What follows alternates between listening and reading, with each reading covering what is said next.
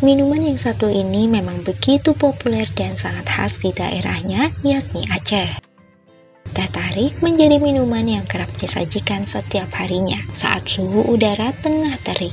Memang momen menikmati teh tarik begitu pas. Tak heran kalau teh tarik digandrungi mulai dari anak-anak hingga orang dewasa.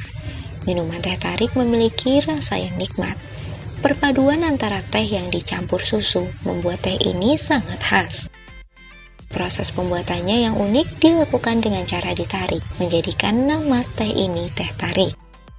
Teh tarik digandrungi oleh banyak orang sehingga menjadikan bisnisnya makin diperhitungkan. Usaha teh tarik menjadi salah satu bisnis yang menguntungkan, di mana dari dahulu hingga sekarang bisnis ini tumbuh subur. Jumlah modal yang diperlukan untuk memulai bisnis ini tidak besar.